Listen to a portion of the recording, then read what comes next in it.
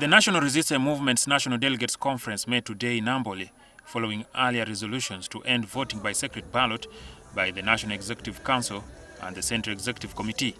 The motion for the removal was tabled by Kabula County Member of Parliament, James Kakooza.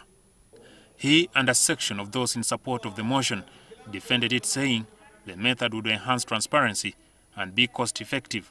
Last elections, we did well with the LOC 1.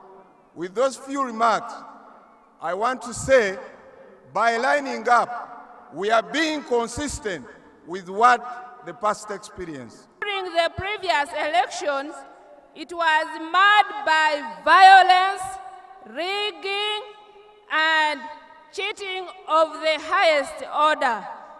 The National Party Chairman, President Museveni, concluded a three-hour and a half speech with a recommendation for the party to go the way of the National Executive Council for the greater good of the party. Many of the supporters are known, secret ballot or not. The question then is, what percentage are those discordant couples or those whose candidates' preference they prefer not to be known? It cannot be the majority. However, there were opposing voices too, especially from those who insisted that lining up would increase chaos and voter intimidation.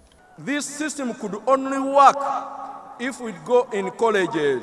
But where the candidate is not there, it, it doesn't work. Our members, they will suffer from brutality from their colleagues. It will block us, the young people who are seeking for leadership.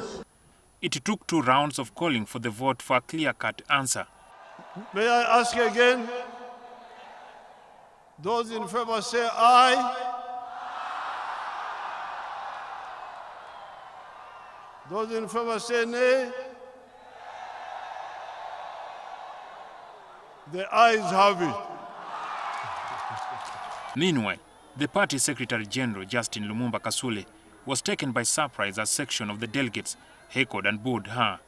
The chaos was started by delegates from Lango and Acholi sub-region.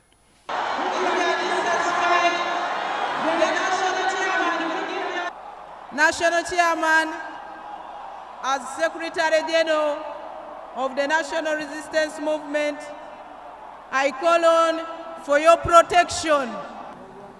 There are two groups which appear to be unhappy. One group is this side, and another two from this side. You go and sit near my tent there. And after my speech, I will listen to your issues.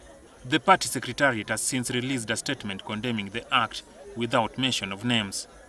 It is understood that there are sections of the party who are keen for return to the previous practice of electing a Secretary General as it was before 2015. The Secretary General and her staff are now appointed by the party chairperson,